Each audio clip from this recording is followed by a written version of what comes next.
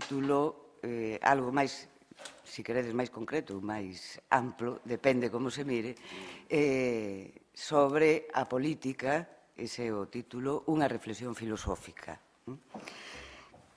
Como veremos, non ten eh, eh, diferencia co que realmente era o título inicial, Dilemas políticos contemporáneos, porque o que el nos presenta eh, baixo o título de eh, Sobre a política e toda unha concepción eh, da política para pensar os dilemas contemporáneos. E, polo tanto, eh, creo que é eh, pertinente nos tempos que corren e como saiu xa en estes días eh, entrar de cheo en que é isto da política a ver eh, que significa e, eh, sobre todo, cando tanto se fala do regreso das cousas políticas que non é, penso eu, unha simple rehabilitación como eh, tanto se ten falado da rehabilitación da filosofía política. Non? Creo que é algo máis. Pero eso queda eh, para o comentario. O profesor Alessandro Ferrara é catedrático de Filosofía Política na Universidade Tor Vergata de Roma.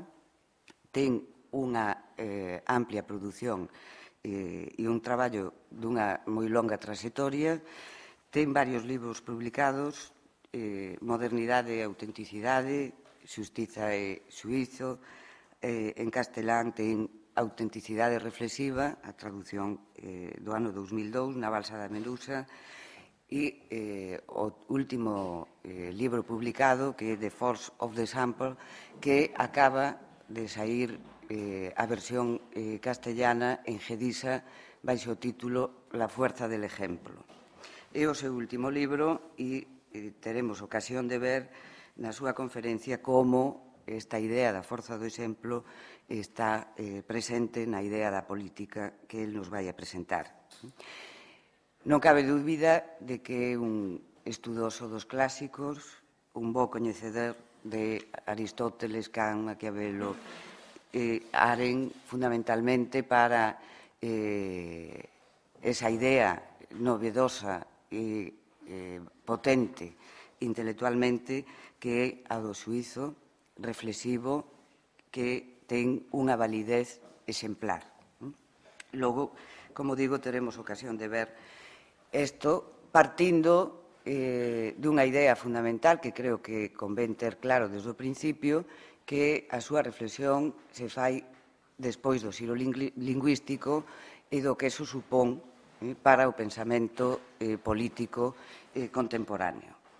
E tamén autor de numerosos artigos que non vou a nomear, basicamente eh, dous que están en, en castelán e que eh, nos indican tamén que é un eh, autor leído e con eh, certa influencia no noso país, un xa do ano 92 eh, na Revista Internacional de Filosofía Política sobre o, o concepto de comunidade liberal e no 2004, en claves da razón práctica, un texto que tamén nos di eh, e nos adianta que lea a súa proposta o desafío do republicanismo.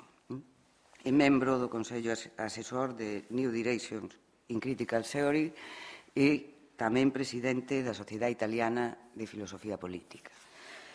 Como logo terei ocasión de comentar algunhas cousas, creo que eh, únicamente me resta decir que ten unha concepción densa, eh, ben articulada, ben pensada do que significa política para os seres humanos e ten unha concepción da singularidade dos individuos que nos permitirá eh, entroncar con algunhas das cuestións que se foron planteando no día de onte e que permiten un debate eh, sobre eh, cultura e política, pero sobre todo un debate sobre a política e que se pode facer e cale, eh, como di el, a mellor eh, política. Sin máis, agradecerlle o estar aquí con nós e eh, si, lle dou a palabra ao profesor Alessandro Ferrara.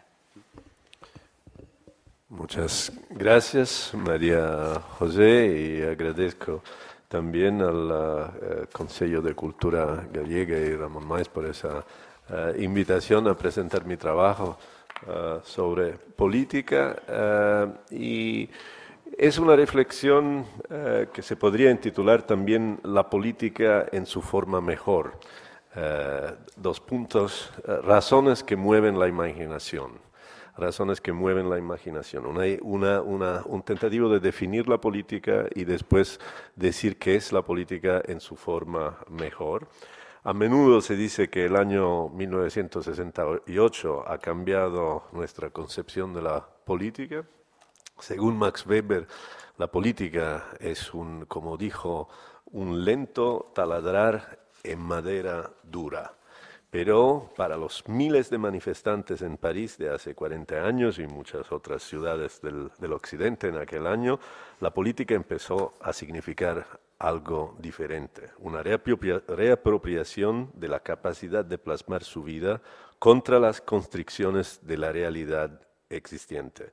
Soyez réaliste, demandez l'impossible, era otro eslogan de aquel tiempo. Y durante las cuatro décadas eh, que nos separan de aquel momento, la política ha seguido siendo más un lento taladrar de madera dura que una oleada de la imaginación, excepto en algunos momentos, como por ejemplo la caída del muro de Berlín en 1989 y quizás, o quizás la elección del presidente Obama el mes pasado.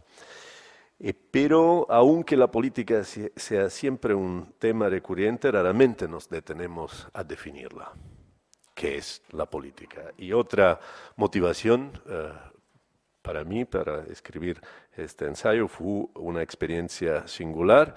Una vez me pasó de asistir a una conferencia de un político muy famoso en Italia, jefe de un gran partido antes de los estudiantes, y uno de los estudiantes, más descarado que los otros, se atrevió a preguntarle, honorable señor diputado, en su opinión, ¿qué es la política? Y yo vi a este caballero acostumbrado a todas las rutinas del poder y de la política quedarse algunos momentos infinitos sin palabras y después contestar de manera muy banal eh, que la política es el intento eh, por la clase política de satisfacer las necesidades que la sociedad le pone con los recursos disponibles. Eh, Y entonces me dice a mí mismo a ver si un filósofo político puede arreglárselas mejor eh, en, dar una definición. Y por un ingenuo ímpetu pragmático, por el sentido común, he buscado el diccionario Zingarelli, un diccionario muy conocido en Italia. Eh, he tratado de encontrar ahí la famosa escalera de usar y tirar, donde habla Wittgenstein la escalera eh, para subir al conocimiento. Y cuando vi ahí en este diccionario la política definida como ciencia y arte de gobernar el Estado, yo tiré la escalera con desesperación, aún antes de subir el primer peldaño y decidí construirla yo solo, directamente. Entonces empiezo por las tres premisas más ecuménicas que puedo imaginar. Primero, no existe ningún ser humano que no actúe y cuya acción no se incluya, aunque solo mentalmente, en una agrupación eh, más amplia. Segundo, no hay actividades sin fines de acción y elección de los medios. Tercero, no hay armonía preestablecida de los fines en la diversidad de los seres humanos Ah, y de los núcleos en los que viven su existencia. De aquí, yo creo, nace la política, de la imprescindible necesidad de coordinar los fines de la acción individual con los fines de la acción ajena cuando se vive en un núcleo común. Lo cual significa que la política es partícipe de dos mundos, el mundo de los medios y de los fines, pero también del mundo de lo que vale, de los valores una doble afiliación que se refleja en la partición entre enfoques realistas y enfoques normativos, en los que desde siempre se divide la reflexión filosófica en torno a la política. Procedamos pero punto por punto. Primero, los seres humanos no viven aislados, sino en sociedad. Sobre esto están de acuerdo tantos quienes sostienen que hay que explicarlo sobre la base de la peculiar naturaleza social, es decir, de zon politikon del ser humano, como Aristóteles, Hegel, Marx, como quienes sostienen que esto debe explicarse sobre la base de la conveniencia, que presenta el hecho de vivir en sociedad para seres no especialmente propensos a vivir en sociedad, sino de varias maneras seres débiles, deseosos, irracionales. Pensamos en Hobbes, en Locke, en Rousseau. Además, cualquiera, cualquiera que sea nuestra antropología filosófica de partida y cualquiera que sea nuestra teoría de la acción, nadie va a negar que cada ser humano, entre otras cosas, actúa de alguna manera. Y los que hablan de acción como algo diferente de un mero reflejo neurológico, inevitablemente presuponen la relevancia de las nociones de medios y fines. Y aquí también eh, eh, seguimos situándonos eh, sobre un terreno por demás ecuménico. No importa saber si estos medios y sobre todo estos fines son elegidos autónomamente por los individuos o proceden tácitamente de las tradiciones vigentes en el núcleo social de pertenencia. Lo que es importante es más bien la idea, esta también creo no controvertida, de una cierta secuencialidad, incluso temporal, entre estos medios y los respectivos fines. Los seres humanos no están condenados a perseguir metas de una en una y con un medio solo, pero lo que queremos decir cuando decimos que poseen un cierto grado de racionalidad es, entre otras, el hecho de que ellos están capacitados para querer una cosa por amor de otra. Por tanto, usando fines como medios para otros fines. Si así fuere, debemos también aceptar la idea de que cada individuo, miembro de una sociedad, por cada individuo miembro de una sociedad existen uno o más fines que no preludian otros anillos de la cadena, verdaderos fines últimos individuales. Ahora bien, yo construyo el concepto de la política eh, eh, tomando como punto de partida el concepto de lo social, eh, recurriendo a un término más bien fuerte eh, derivado de la lógica, Talcott Parsons, en un ensayo de 1934, Prolegomena to a Theory of Social Institutions, argumenta que es contradictorio pensar que unos individuos estén entre ellos en el tipo de relación que llamamos sociedad, en vez de en el estado llamado estado de naturaleza, y al mismo tiempo decir que los fines últimos, individualmente perseguidos por ellos mismos, estén entre ellos en una relación puramente casual, random. Desde luego, esto no significa que la relación entre estos fines últimos debe ser armónica, de hecho, muy a menudo es conflictiva, eh, sino que significa que si existe sociedad, esta relación no puede no seguir algún modelo algún pattern. Las instituciones sociales, así las llama Parsons, o más en general lo social, eh, decimos las instituciones sociales desarrollan una función de enlace entre, esta trama no casual de relaciones que no podemos no suponer como existentes entre los diferentes finos últimos eh, y los fines mucho más parciales que cada individuo a lo largo de su vida persigue. Este cuadro de referencia utilizado por Parsons para explicar la naturaleza de lo social, nos permite comprender ahora la naturaleza de la política. No tendríamos dificultad en suponer que estos fines últimos perseguidos por individuos que viven en un núcleo social eh, no puedan ser idénticos. Eso es la diferencia entre las personas que eh, oímos eh, ayer por Carlos Thibault si los individuos no son idénticos y si, como también supondríamos sin dificultad, los recursos disponibles en su totalidad para la agrupación social no son ilimitados y no permiten perseguir de igual manera todos los fines, aquí surge el problema de atribuir un orden de prioridad, un orden de prioridad a estos fines. En esta necesidad es donde en esta necesidad es donde introduce sus raíces esa manera de relacionarse con el mundo que llamamos política. Solo una forma de asociación humana que gozase de recursos ilimitados y pudiese satisfacer igualmente todos los fines últimos perseguidos en cada momento por sus miembros sería una sociedad sin política.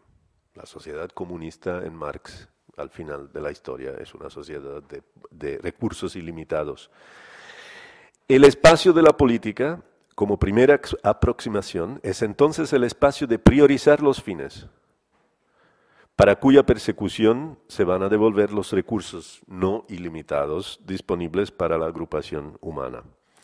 La creación misma del poder soberano, entendida por Hobbes como procedente de una voluntad unánime de salvaguardar el bien de la vida ante las insidias del estado de naturaleza, no es el primum o no es el Big Bang de, de la política, es el fruto de una orientación, por no llamarla decisión, que se formó antes y que consiste en la anteposición unánime de la seguridad de la vida ante cualquier, cualquier otro fin al cual devolver los recursos.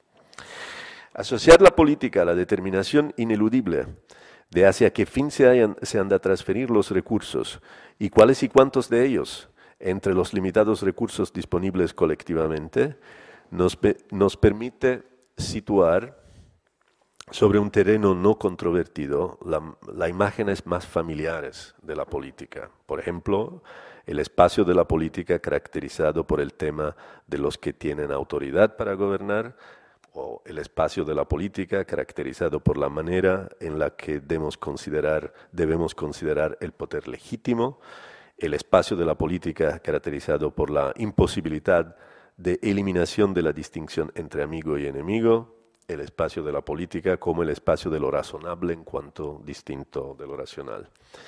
Además, nos permite situar la política en un ámbito que precede la gran bifurcación entre los dos enfoques alternativos, el normativo y el realista, eh, eh, y de hecho podemos entender esa alternativa entre enfoques realistas y enfoques normativistas, normativos, eh, como la alternativa entre quien considera que el otorgamiento de prioridad de algunos fines respecto a otros no pueda prescindir de una dimensión de fuerza y quien, en cambio, cree que ésta tenga que explicitarse sobre la base de razones que, al menos idealmente, neutralizan las relaciones de fuerza, de fuerza eh, entre los partidarios de las diversas, diversas opciones.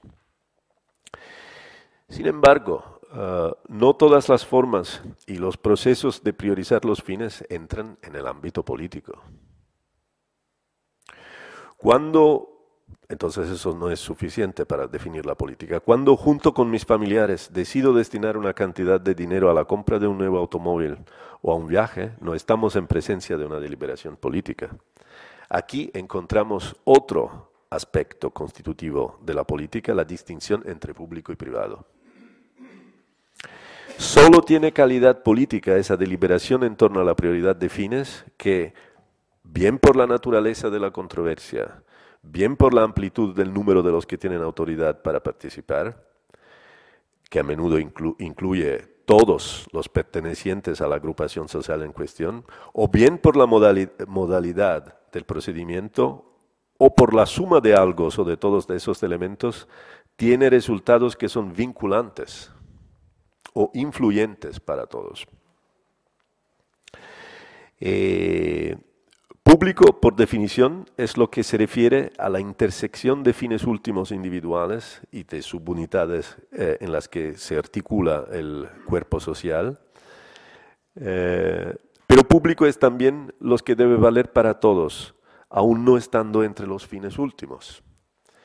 Política es también lucha entre intereses y valores, conflicto entre lo que una parte desea y a lo que la otra parte se opone. El carácter político de la controversia entre intereses contrapuestos, el interés de quien apoya, ah, por ejemplo, la financiación pública de la escuela privada y quien la obstaculiza, se da, ah, el carácter político de esta controversia se da no por su constitución de fines últimos, sino por la incidencia de la prioridad acortada con un fin o interés respecto a otros para la ordenación de la sociedad en su conjunto. Si discuto en familia sobre qué compromiso de gasto eh, debe tener prioridad, esto no es política. Pero si los representantes de los industriales discuten con los representantes de los trabajadores sobre las reglas para poder despedir, esta es una controversia política aunque pueda concretarse fuera de una implicación de las instituciones del Estado. Del Estado. También en este caso eh, no estamos sino adelantando lo que las filosofías políticas, lo que algunas filosofías políticas específicas articularán en su propio léxico, la idea que lo que sucede lo que se pasa fuera de las instituciones políticamente propiamente dichas, en la sociedad civil, por ejemplo, Hegel, en la esfera productiva, Marx, o en la esfera pública, pensamos en Habermas, puede poseer un valor exquisitamente político, tal vez aún más importante de lo que sucede en el lugar que en el lenguaje eh, periodístico italiano se define como el palacio, el palacio del poder. Eh,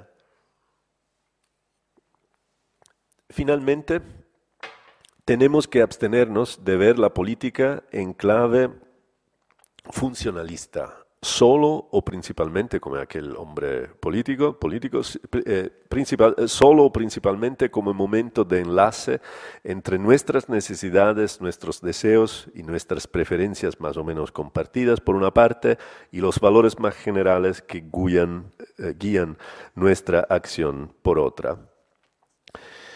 Eh, y más que otra cosa, tenemos que abstenernos eh, eh, de ver la política como en un ámbito solamente estatal, como en la definición de sentido común del diccionario Zingarelli.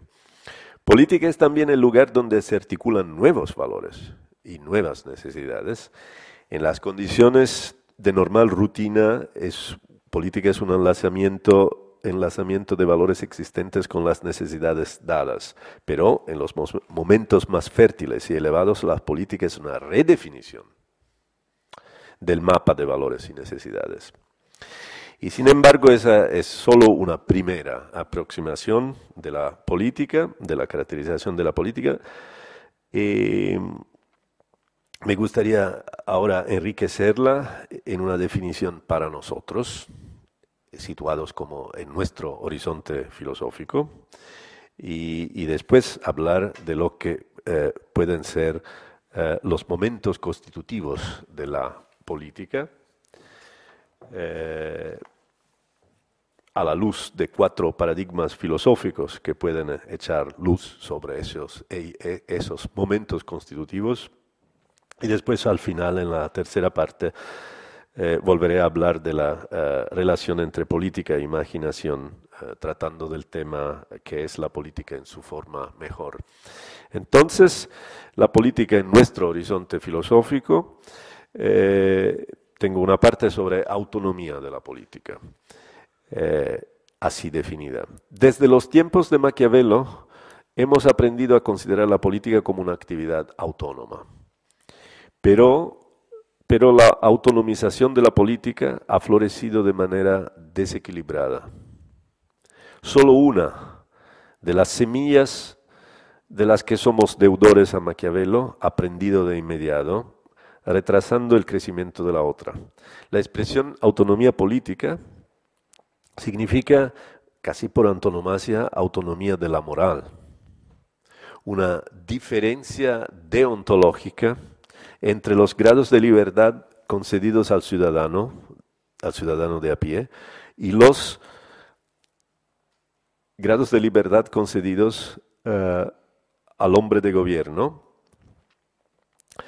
Pero la autonomía de la política de los principios morales, de los preceptos religiosos y también del ethos compartido, no agota el significado de esta expresión autonomía de la política. Solo en la segunda mitad del eh, siglo XX, con la obra de dos autores muy diferentes como Anna Arendt y John Rawls, el John Rawls de liberalismo político, brota eh, la otra semilla eh, que puede revivir en la obra de Maquiavelo, es decir, la autonomía de la política no de la moral, sino de la que llamaré teoría, con grande.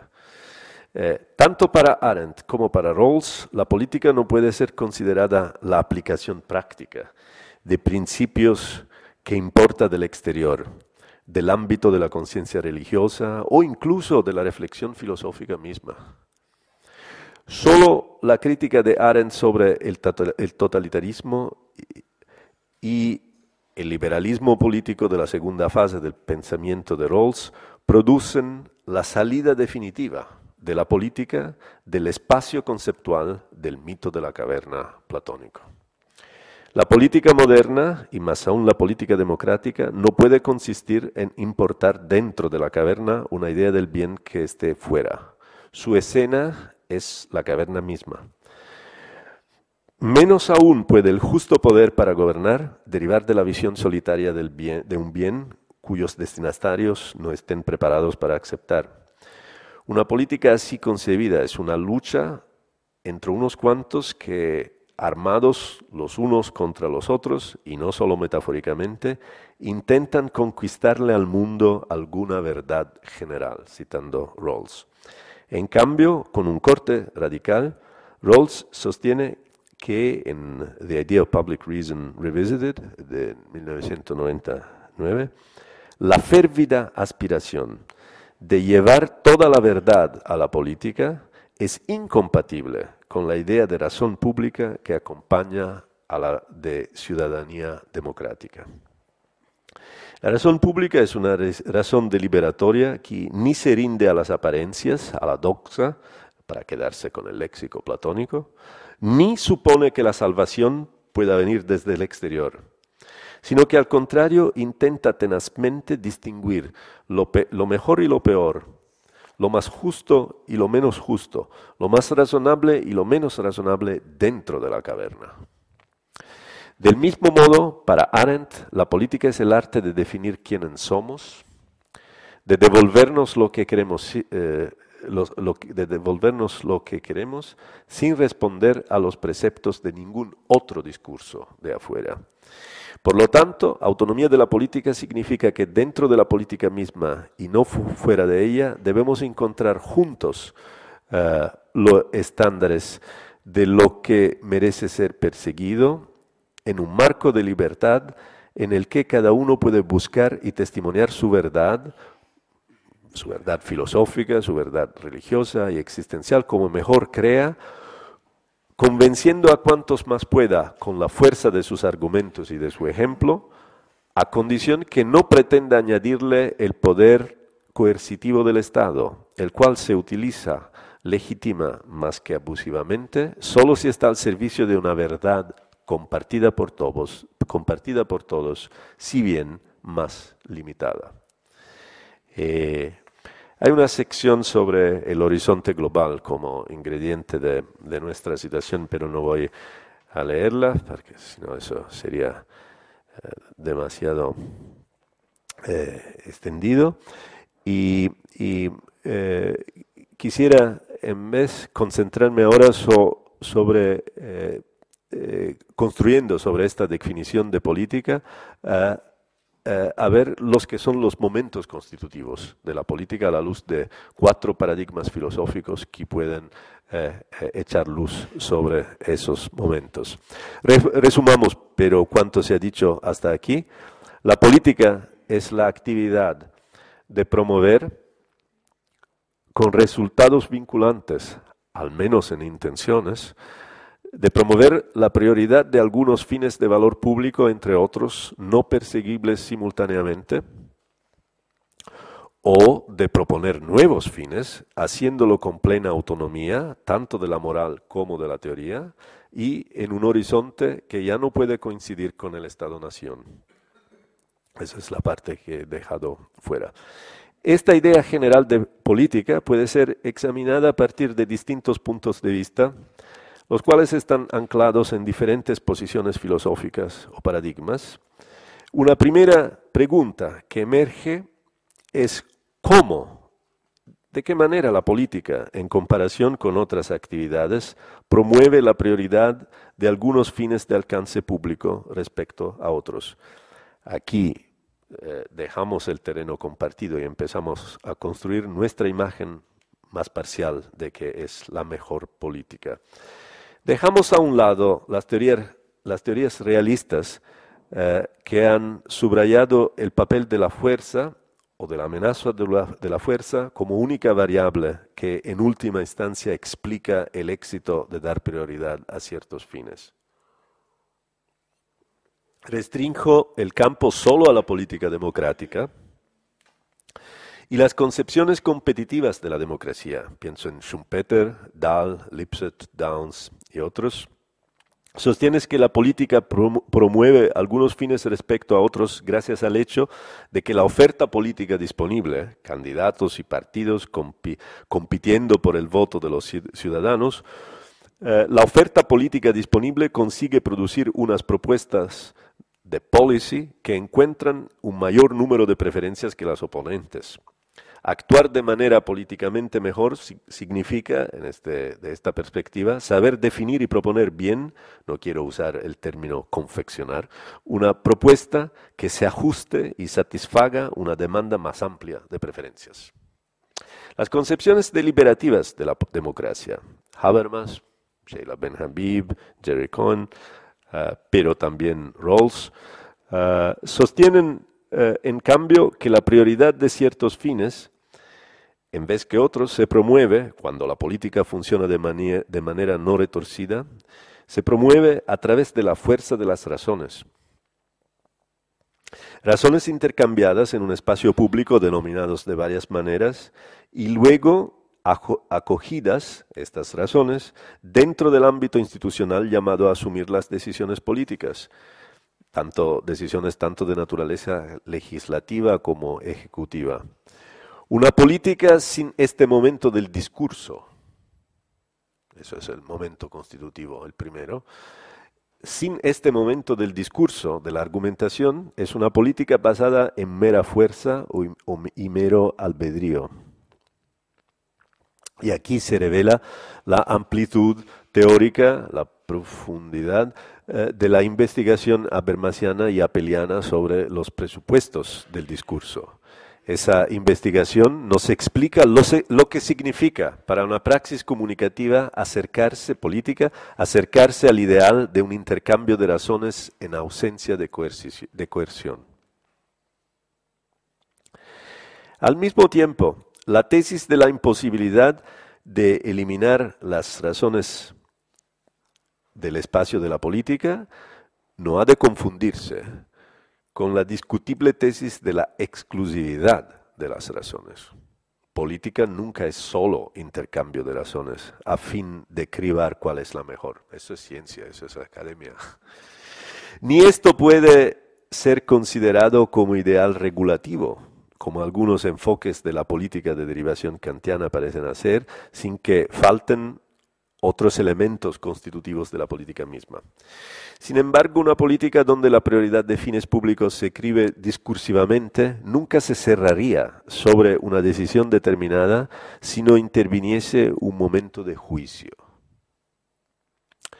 No solo las diversas prioridades de fines se basan en el peso de las razones que militan a favor de una u otra, sino que también las razones mismas pueden tener un peso diferente, controvertido, según su colocación más o menos central en el fondo de concepciones más amplias, no necesariamente compartidas, y sobre todo, desafortunadamente, pueden tener un peso casi equivalente. De hecho, la pesadilla de cada concepción discursiva de la validez es el empate. Ese es un argumento de Dworkin. Eh, la pesadilla de cada concepción discursiva de validez es el empate. Es decir, esa situación en la que somos nosotros los que tenemos que establecer la diferencia eh, sin podernos refugiar ni siquiera como participantes nominales, sin podernos refugiar en la posición de un observador que constate el mayor peso peso de las razones propuestas por una parte respecto a las de la otra y añada su consentimiento no influyente, porque ya está una mayoría. Pero no hay necesidad de recurrir al caso extremo del empate para admitir la constitucionalidad del momento del juicio en política. Es suficiente recordar el hecho de que la razón, cuando hablamos de política, no puede ser sino deliberativa. Es decir, una capacidad de discurrir que en su fin práctico se queda anclada en un contexto, que trata, una razón que trata de resolver un problema con recursos materiales y simbólicos finitos y ampliamente ya dados. Una capacidad de discurrir que aspira a resolver un problema en un horizonte temporal que no puede ser dilatado al infinito, como en el caso de la razón especulativa. El momento del juicio enlaza la abertura ilimitada del discurso crítico especulativo, las preguntas, por ejemplo, sobre la naturaleza de la libertad, la naturaleza de la justicia, de la igualdad, de la laicidad, eh, con lo finito de un contexto dentro del cual un problema político se sitúa y pide solución en un arco temporal que los deliberantes no pueden extender a su placer. Y el juicio cumple este enlace no anulando la pluralidad de las posiciones articuladas en el discurso, sino insertando la operatividad de la política en lo razonable, es decir, en la intersección de lo que es compartido. El arte del juicio es el arte de extender en lo posible esta intersección del compartido. Y lo hace vinculando la normatividad de la intersección, o sea, de lo razonable, con su esencia ejemplarmente reflexiva de la identidad que, recoge las partes en conflicto. En esta ejemplaridad, de la que está llena la normatividad de lo razonable, están las bases de que todos, todos, en acuerdo o desacuerdo, mayoría o minoría, pueden reconocer la, legitimidad plena de una decisión política vinculante.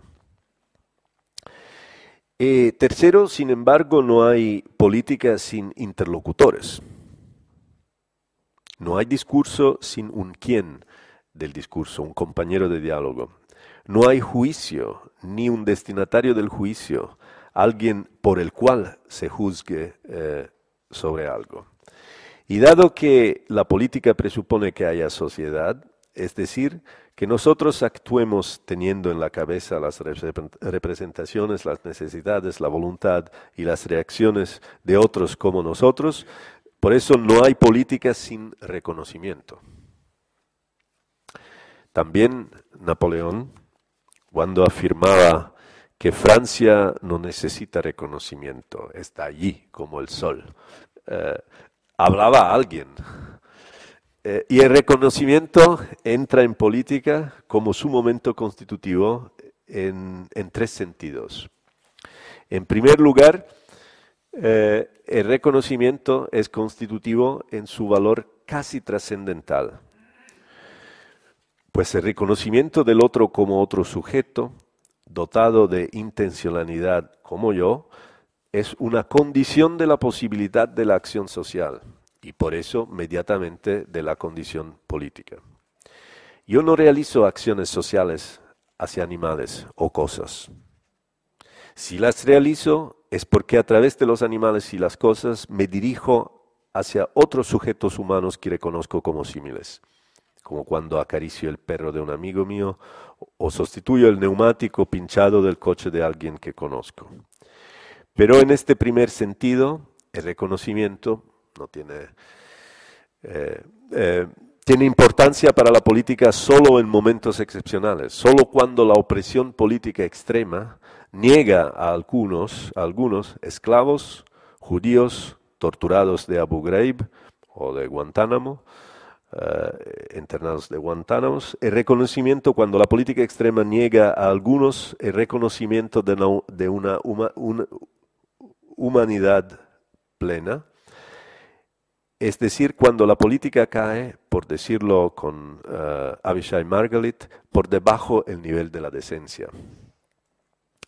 En un segundo sentido, el reconocimiento es constitutivo para la política como algo que no tiene posibilidad de ser imprescindible, sino que por el contrario puede ser atribuido o negado a alguien.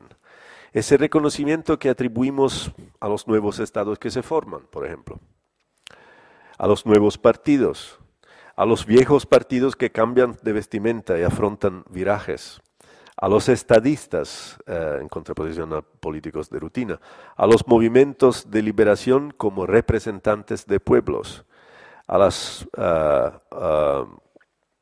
eh, NGOs como representantes de ciertos intereses colectivos. En este segundo sentido, podemos hablar de una verdadera política del reconocimiento la cual pasa a través del uso que nosotros hacemos del lenguaje para designar los actores de la política. Cuando los combatientes, combatientes islámicos iraquíes se vuelven insurgentes eh, en el periódico El País, eh, cuando los disidentes se vuelven freedom fighters, ahí descubrimos el poder de reconocimiento en política y hasta qué punto la criba de las razones y el obrar del juicio dependen del reconocimiento que quien que quien tenga autoridad eh, para acceder al, espacio de las razones y, el, y, del juicio. Y finalmente existe un tercer sentido en, el que el reconocimiento eh, tiene importancia para la política. En la, medida en que la política es algo diferente de una desinteresada búsqueda de la verdad, pero es un segmento de la razón deliberativa, es decir, de esa razón que filtra elecciones alternativas desde el punto de vista del bien templado por lo justo. Eh, entonces, ¿quién plantea una tesis? ¿Quién plantea una tesis es tan importante como el contenido de la tesis. Desde este tercer punto de vista, reconocimiento se convierte en el término con el que marcamos la importancia de quién dice algo, además de la importancia de lo que se dice. No estamos en política, no estamos en política, sino en otra práctica. Si partimos de la tesis de que el significado de lo que se dice no tiene relación con la persona que lo dice. Una reflexión sobre el nexo entre política y conocimiento tiene como su tercer ámbito la investigación en torno a lo que en general filosóficamente se puede afirmar sobre la relación entre locución y locutor, acción y actor. Y finalmente, en cuarto lugar, intrínseco a la política es el momento de la donación.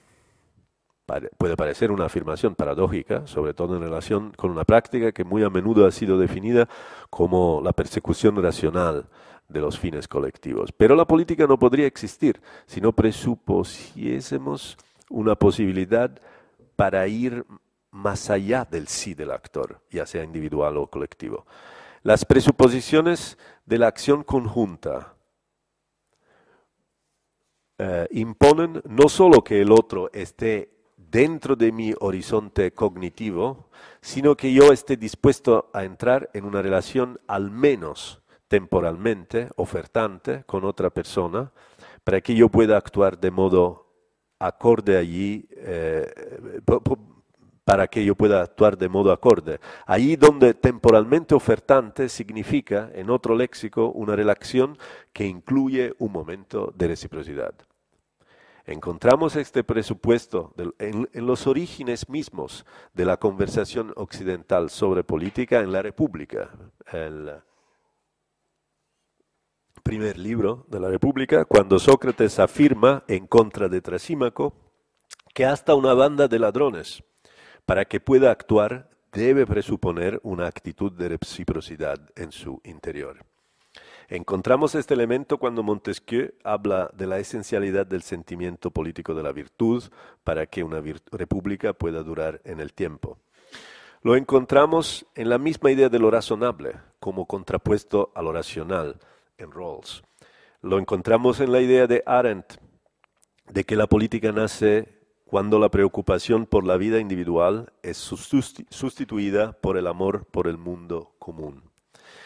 Lo encontramos en, las palabras de un gran político como John Kennedy, cuando en su famoso discurso de inauguración dijo, no os preguntéis qué puede hacer América por vosotros, sino qué podéis hacer vosotros por América.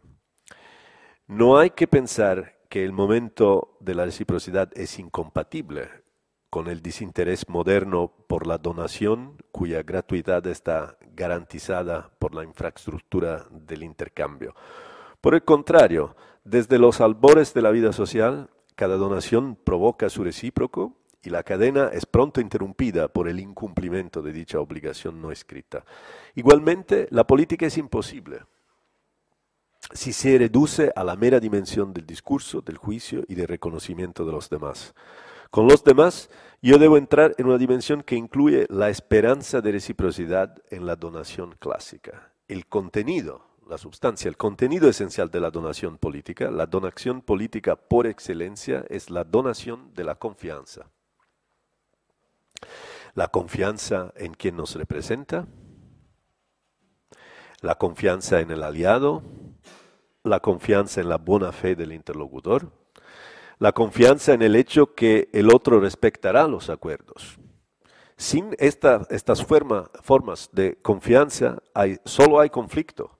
No es posible la práctica de la política tal y como lo hemos caracterizado hasta aquí. Y además no puede darse política si no tenemos confianza en la disponibilidad mutua para dar preferencia a los demás en la priorización de los fines, hasta la donación suprema, la de la vida, que a menudo ha requerido la política. Concluyo esta eh, penúltima eh, parte de reconstrucción de los momentos constitutivos de la política con una referencia al tema más visiblemente ausente hacia aquí, cómo puede una concepción de la política quedar ausente sobre el papel del poder en la acción política. El punto que emerge aquí es que el poder político, si con este término queremos, desde el punto de vista de Weber, expresar la capacidad de hacer que alguien haga algo que no haría espontáneamente, y de hacérselo hacer en virtud de una creencia en la legitimidad del orden del que es destinatario, eh, eh, eh, el punto es que el poder político, así concebido, interviene de algún, de algún modo después, conceptualmente, después de que el trabajo de la política, en el sentido aquí delineado de priorización de fines, haya sido cumplido. Es decir, después que una cierta prioridad de fines compartidos haya sido establecida pro tempore. Es un contexto, en un, contexto de política democrática, es a través del compartir de los fines que surge la legitimidad de la obligación. Sin embargo, por otro lado, el poder como influencia, el poder como Macht, como lo llamaba ah, Weber, también está presente y se inserta como variable que interviene en el proceso de selección de los fines. El poder como Macht es uno de los hechos imposibles de eliminar de la política como el crimen es un componente imposible de eliminar de la acción social.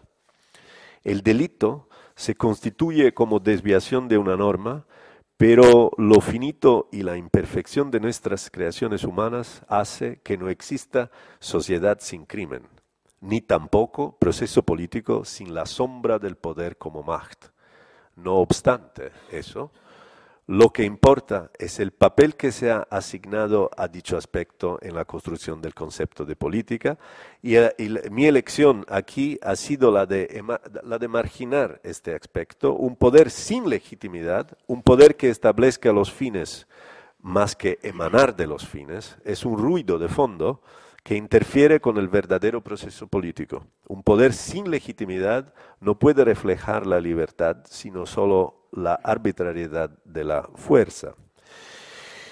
Y la última parte, en las consideraciones expresadas hasta aquí, he intentado delinear la estructura esencial de la actividad que llamamos política y e identificar algunos momentos constitutivos. Pero política no es solo esto. Me gustaría concluir echando una mirada a lo que la política puede ser en su mejor acepción. Eh, fiel a una inspiración normativista. Muchas veces en el transcurso de su historia bimilenaria, la reflexión sobre política se ha enfocado en su enlazamiento con el mito y los símbolos.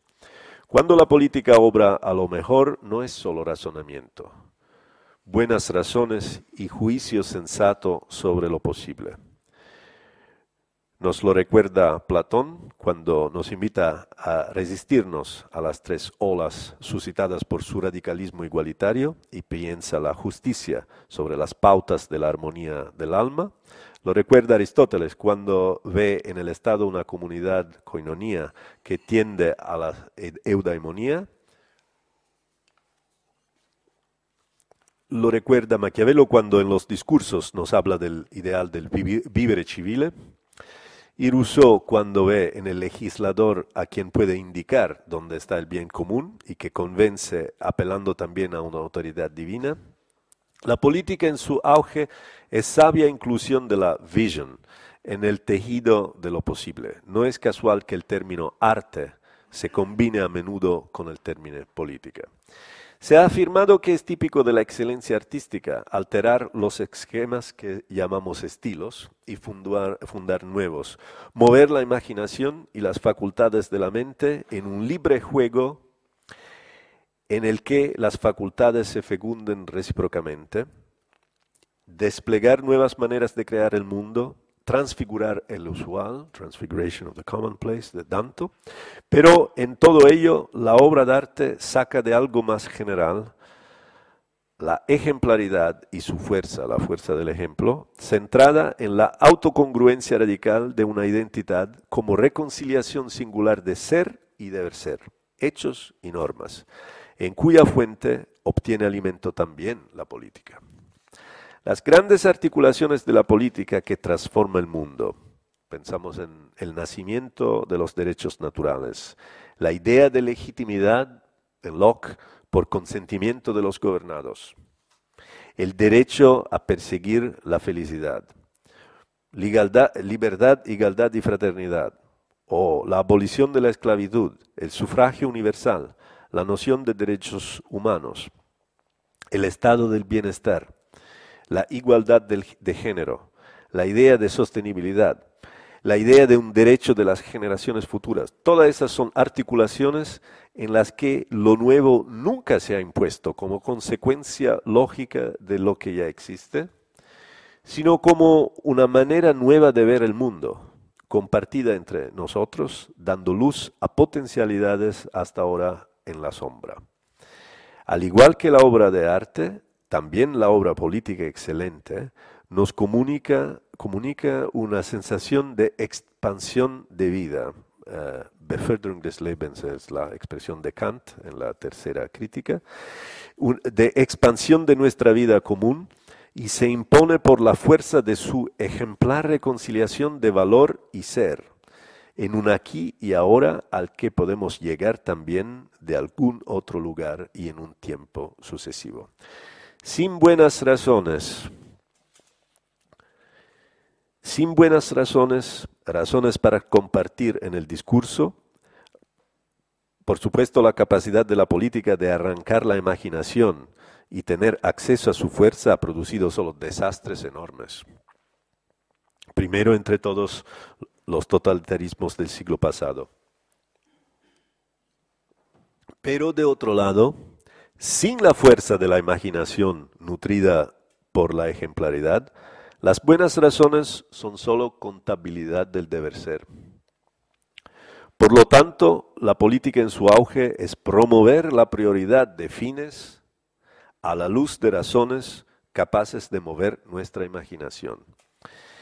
Y en esta puesta en movimiento de nuestra imaginación, la mejor política produce en nosotros el sentimiento de expansión, enriquecimiento, ensanchamiento, profundización de la gama de posibilidades de nuestra vida en común, es decir, en otras palabras, desvela un mundo político nuevo en el que reconocemos la huella de nuestra libertad. No es casual que en el pasado, antes de que la guerra las guerras de religión llevaran a una radical separación entre religión y política. En el pasado, en sus momentos más elevados, la política estuviese sacralizada. Llegaba a las raíces mismas de lo sagrado, es decir, a la experiencia de ver la fuerza del vínculo que une, a ver la fuerza del vínculo que une reflejada en una forma simbólica. En el horizonte en el que hoy vivimos, la radical asunción de lo finito como presupuesto del pluralismo ha separado la política de las expresiones de lo sagrado, pero no de la fuerza que lo genera. Las razones convencen, pero solo las que mueven la imaginación movilizan. Y en esto la gran política mantiene algo del pasado. Su capacidad de movilizar está en su promesa de es inscribir la ejemplaridad de ciertas experiencias morales en las que realidad y valor se concilian, en las formas del vivir común. Y concluyo aquí, esto es mi concepto de la política, eh, esta es la escalera que, citando a Wittgenstein, está esperando a ser tirada. Muchas gracias.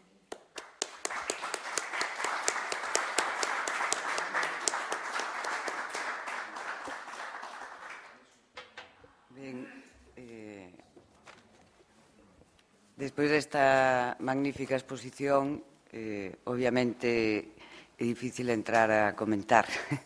Vou a intentalo e antes quixera ver se si non hai un fallo que me parece que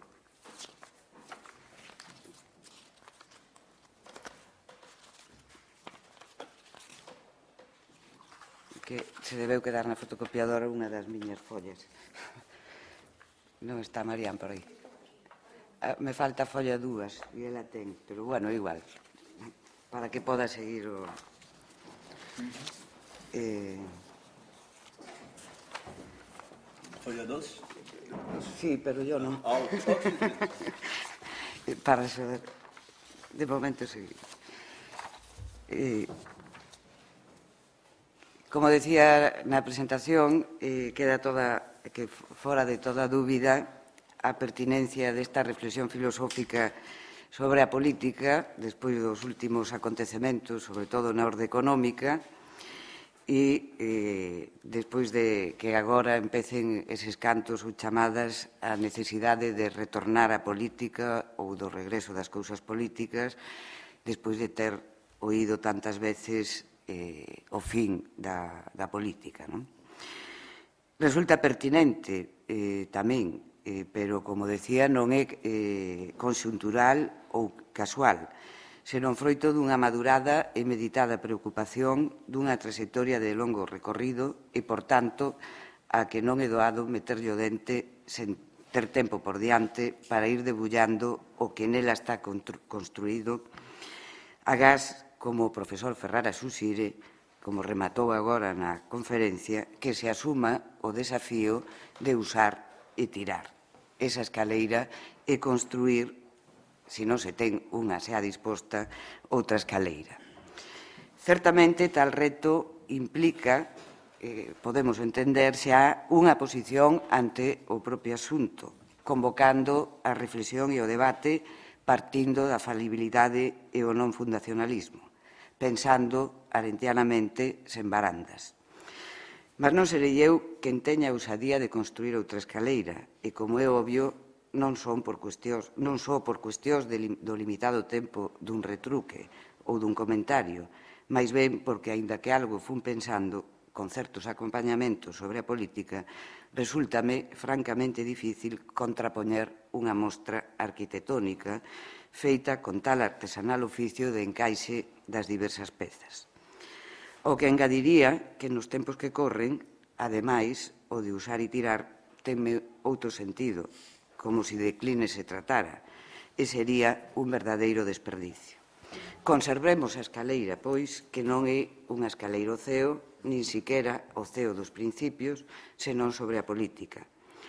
E farei o esforzo, no convencemento de que paga a pena, tirando algunhas reflexións, un breve comentario que ten por obxecto aclarar e profundar nalgúns puntos, facendo un exercicio que conleva a recoñecer que por ela se pode subir e baixar máis que usar e tirar.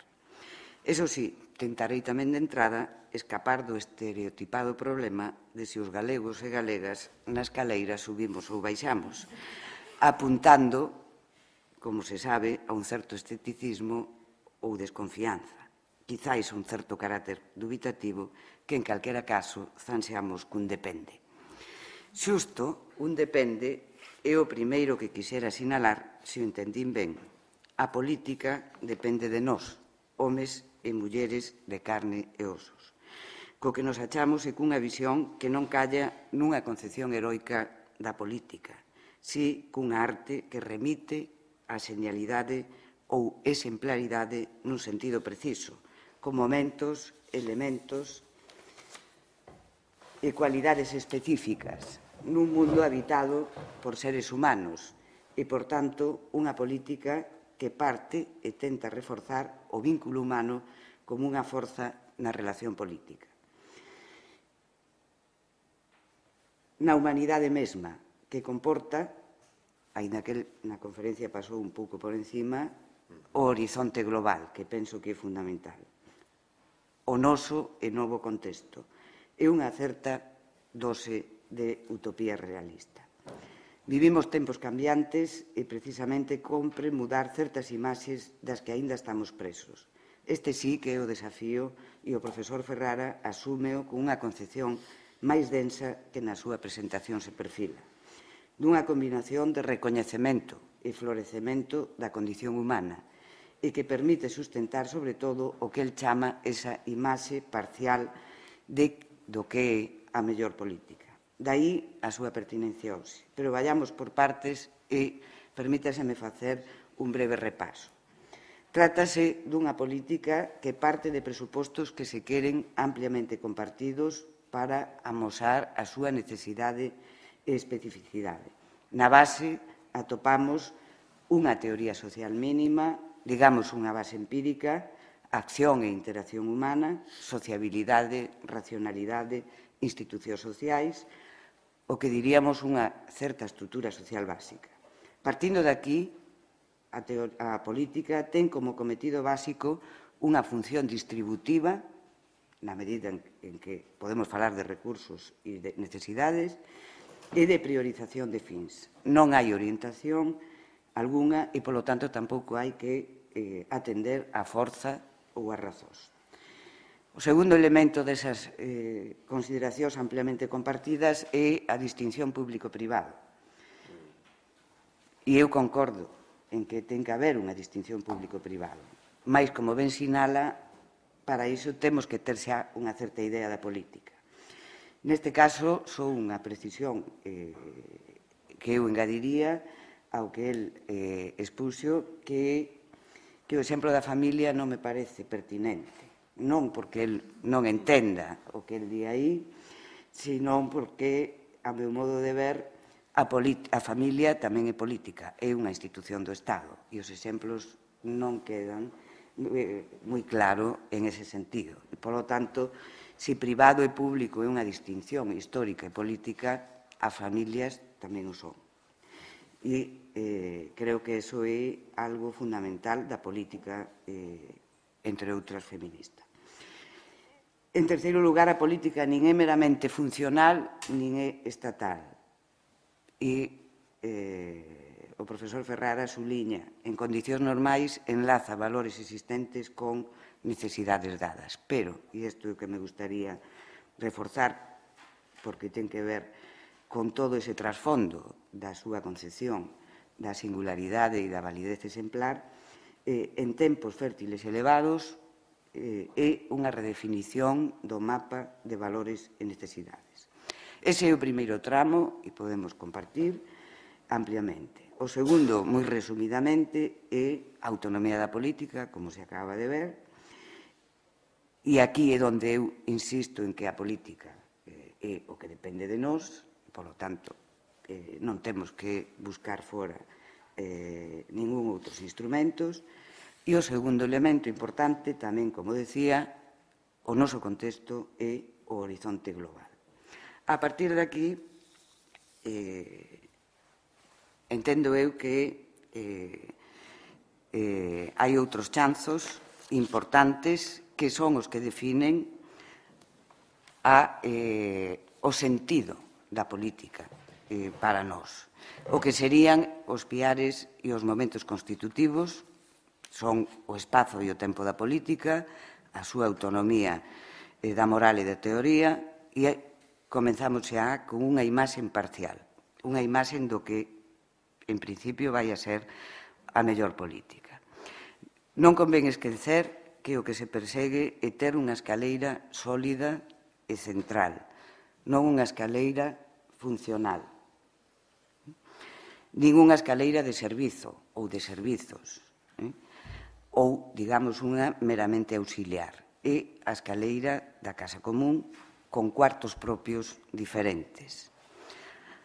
En definitiva, ou a derradeira trátase de facer posible o vivir común e dai tamén que aspire a súa concepción a non ser rexeitada razonablemente por parcial, selectiva ou restrictiva.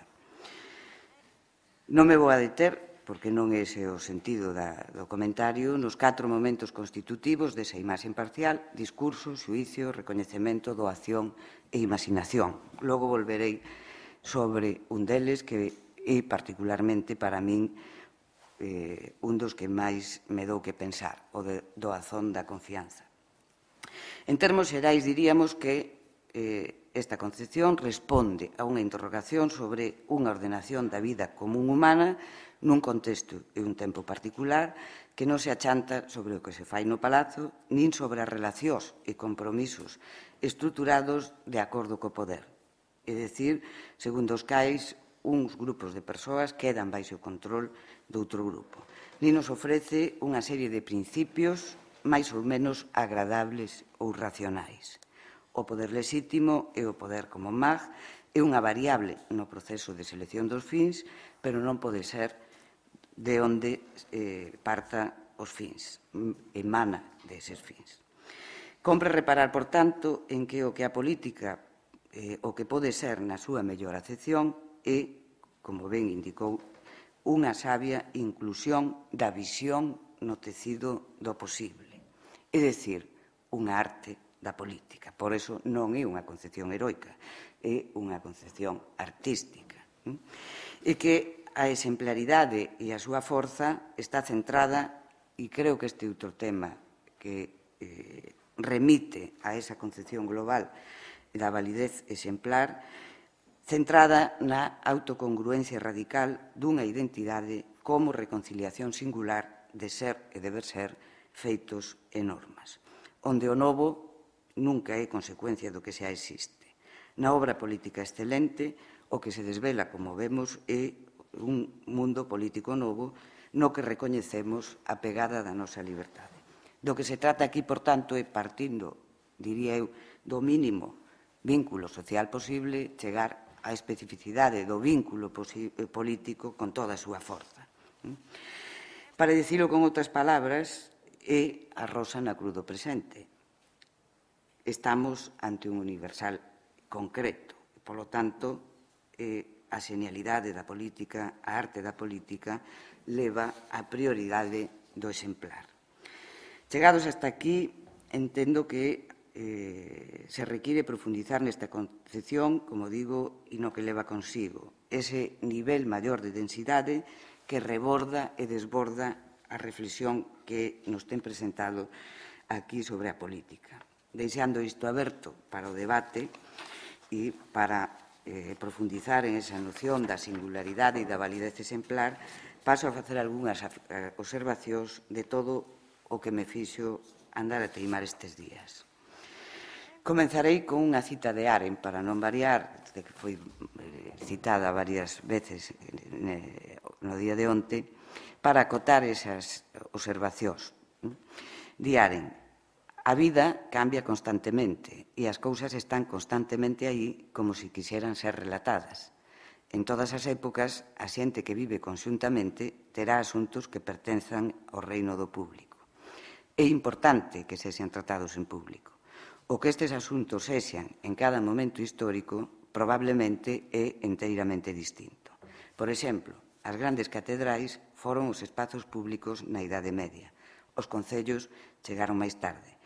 E ali, quizáis, tiveron que falar acerca dun tema que non deixa de ter algún interese, a cuestión de Deus. Deste xeito, pareceme totalmente distinto o que se converte en público en cada período. Sería bastante interesante seguilo punto por punto nun estudo histórico, e creo que se podería facer. Sempre haberá conflictos, non se necesita a guerra. Remata o texto de Anare. A miña primeira observación ten que ver co conflito ou cos conflictos. Sempre haberá conflictos. Agora ben, no que a política se refire, os conflitos importantes, pregunto eu ao profesor Ferrara, son os que atinxen ao que vale, son os conflictos de valores, é dicir, son estes os conflitos profundos, digamos, estruturais, e, por tanto, os que realmente poñen en perigo a posibilidade ou a estabilidade dun mundo público compartido. Dito doutro xeito, aceptaría a clasificación de rols de conflitos doutrinais profundos, conflitos que proveñen o segundo tipo, que proveñen das diferencias de posición, clase, etnia, xénero ou raza, e terceiro, os que se orden das cargas ou servidumes do suicio, e a pregunta, é o pluralismo o asunto do noso tempo?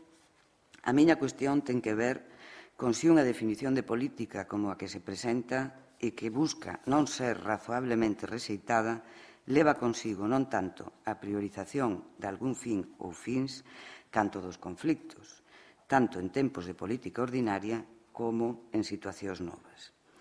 Isto é importante ao meu modo de ver, posto que me sitúo nunha tradición da igualdade, na medida en que o recoñecimento da existencia dun conflito e algo onde apuntaba o profesor Tibú, é ou acostuma ser froito das loitas democráticas, resultado de movimentos e mobilizacións que presionan sobre o que é considerado legitimamente como política e tamén parte da constatación das dificultades nas prácticas e nos procesos de erosionar as jerarquías permanentes ou a naturalización.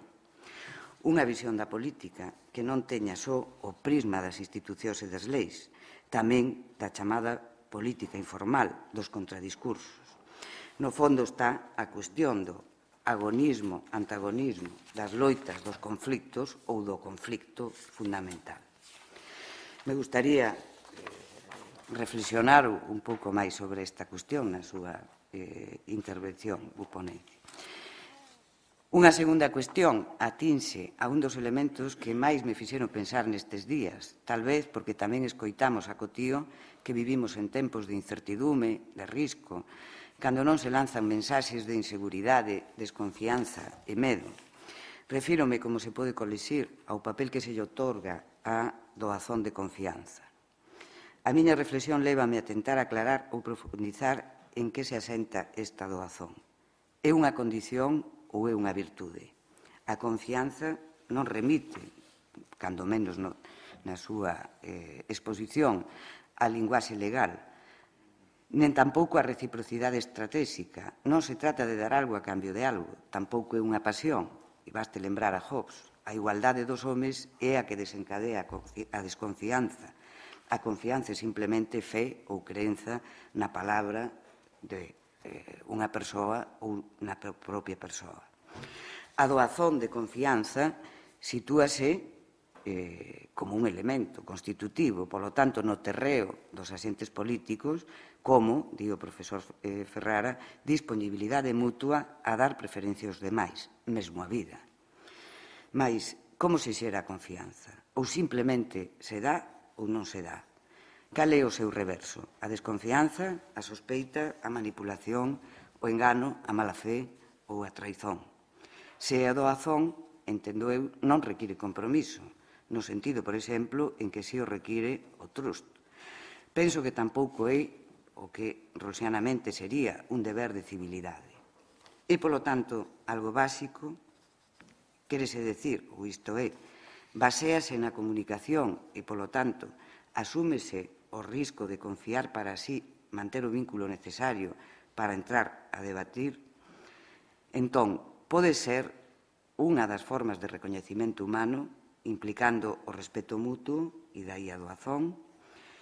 Neste sentido, podería servir de exemplo para entender tamén que o que me dou a min que te pensar unha manifestación que eu escoitei do cónsul español en Estados Unidos cando contaba aos medios de comunicación as súas impresións despois do 11 de setembro, decía el que antes dos atentados a xente subía no ascensor e se atopaba e non se saudaba nin se miraba.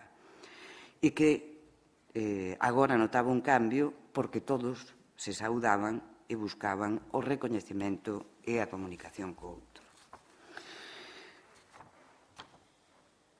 A posibilidade da doazón, entón, e articulada desde a recoñecimento ou, e paso xa para rematar, o último elemento. A doazón de confianza ten unha maior relación coa exemplaridade, coa forza do exemplo e do suizo exemplar, é dicir, con esta específica cualidade política. Dito de outra maneira, ten que ver máis coas capacidades ou habilidades prácticas que coas boas intencións, tanto en tempos de política normal como nos máis novidosos, a doación de confianza supón asumir un risco ou vai ao par das mobilizacións provocadas por aquelas razóns que moven a imaginación, sobre todo nos momentos máis fértiles e elevados ou de gran política. E ben pode tirarse da súa concepción da política como arte do posible a sabia inclusión da visión no tecido do posible. Estamos así ante grandes fundadores, grandes acontecementos, grandes imaginarios e tería así sentido esa doazón. Chegados ata aquí, a cuestión é se precisamos, dado o novo horizonte, tamén un novo imaginario.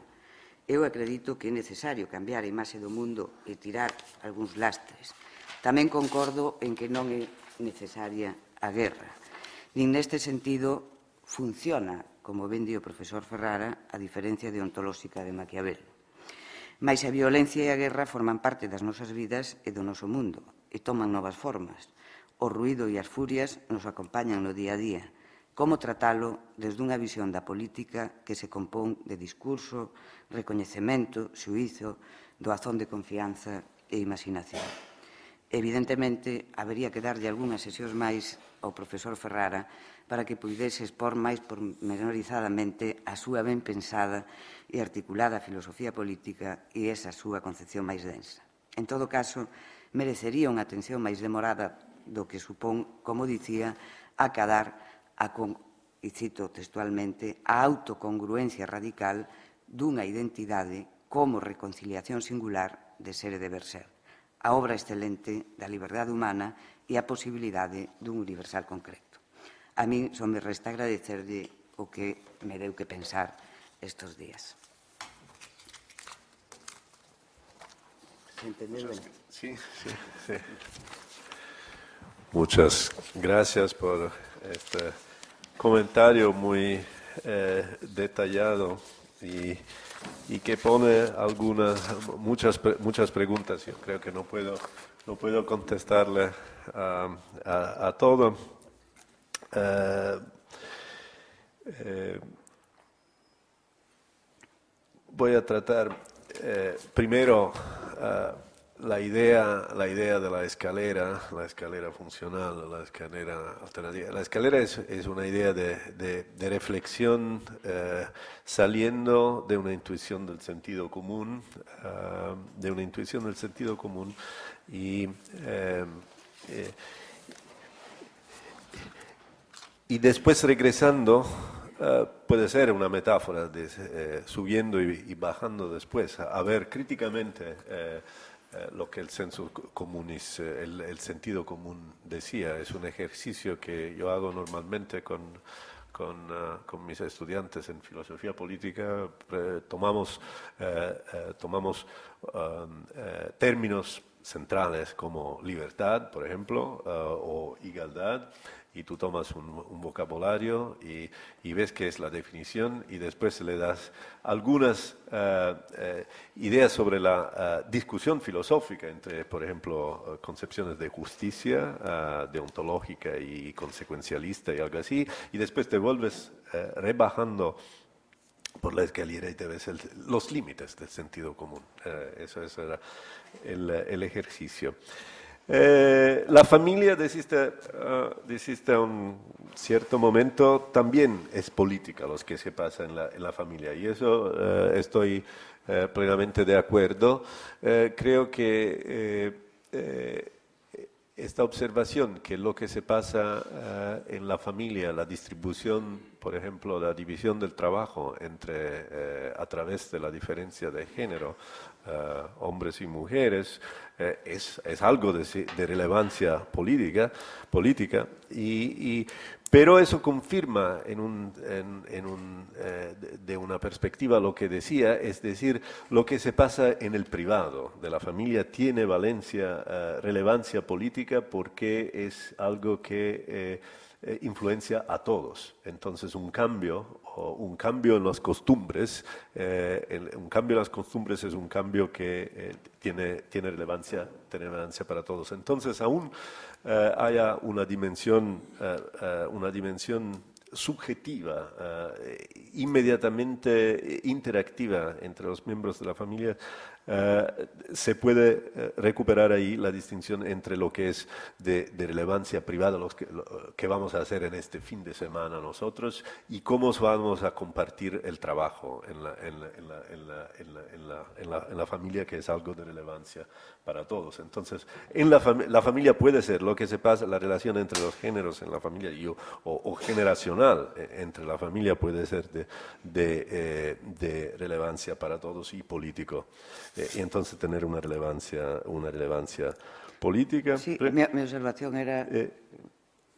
porque básicamente aparece al lado de los sindicatos y las negociaciones sindicales. Bueno, sí, Entonces da la impresión de que familia es, parece, parece, o parece natural. prepolítica, sí, eso es una involuntaria, Es- entonces, involuntaria, sí. Eh, queda, eh, eh, no en este sentido, decía, Sí, sino sí, que sí. eh, parece una- que lo que sea una familia es algo prepolítico natural y no, No, una, institución absolutamente no, social hay- del- o una a- institución del Estado. Ujú, ujú. Absolutamente, fue una impresión, decimos, de, eh, involuntaria de la exposición.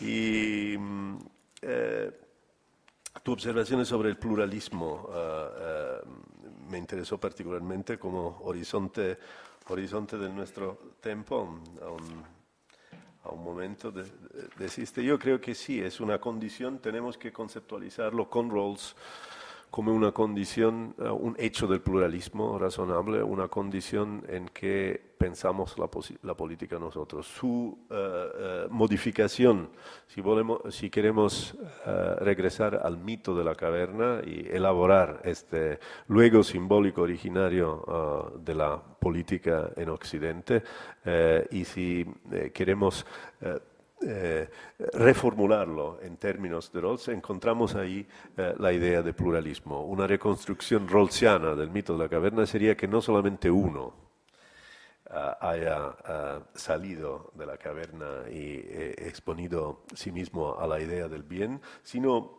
ah, más que uno, y después cuando regresan cuentan lo que han visto y los cuentos, eh, por una parte, eh, eh, ¿cómo se dice? Overlap.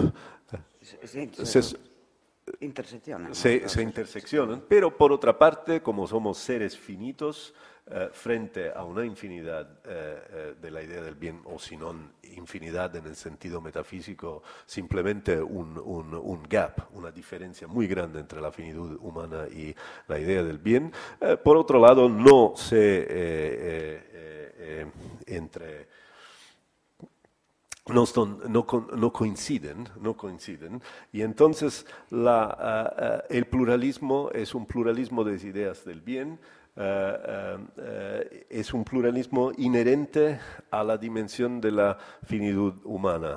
La idea de las cargas del juicio es allí, es una, una- el tercero tipo de pluralismo de que hablaba ayer Carlos Tipo, es, es parte del, horizon- del hori- horizonte eh, eh, ineliminable eh, de nuestra manera de, ver la, po- la política eh, hoy.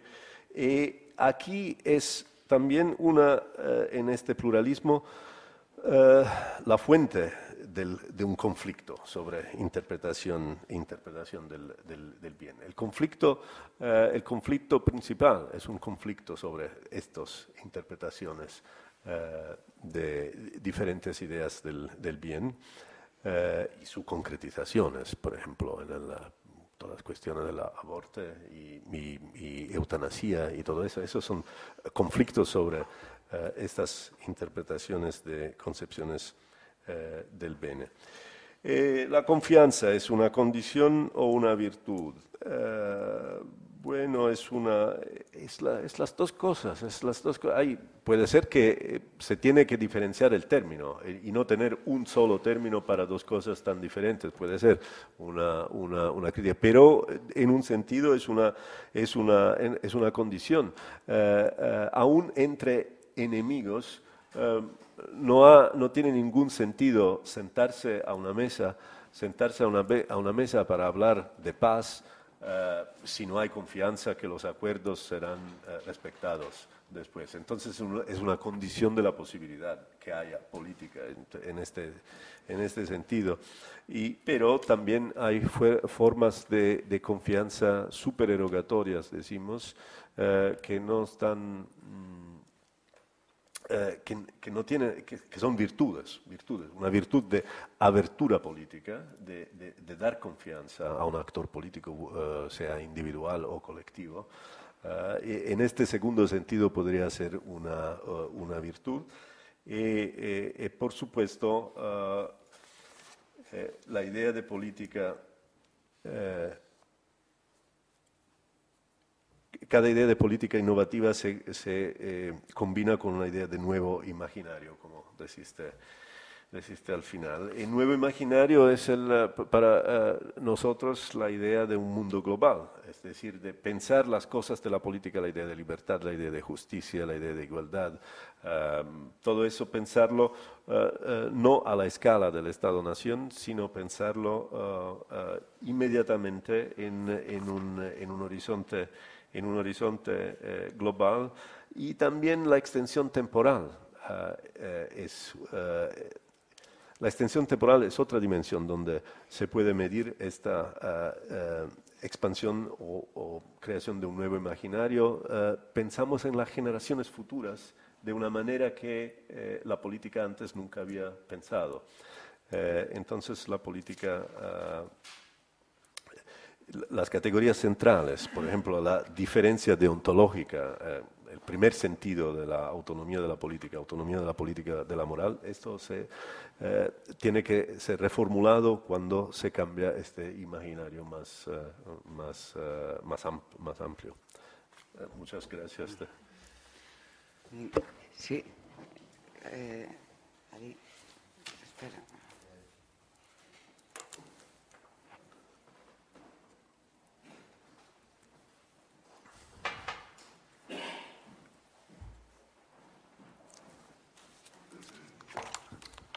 Pues es, el primer contacto, digamos, directo que tengo con esta formulación de la, de la política. Yo no soy especialista en estas cosas, pues soy siempre interesado y, me llama la atención porque es verdaderamente interesante esta especie de, intento kantiano de equiparar eh, la política, o por lo menos eso es lo que me parece a mí, esta este especie de intento kantiano de, equiparar eh, ese modelo de política que tú propones al libre juego de las facultades eh, eh, artísticas del que hablaba Kant cuando eh, se refería a la imaginación como esa desconocida raíz común entre sensibilidad y entendimiento y al arte como lo que florece de ese libre juego.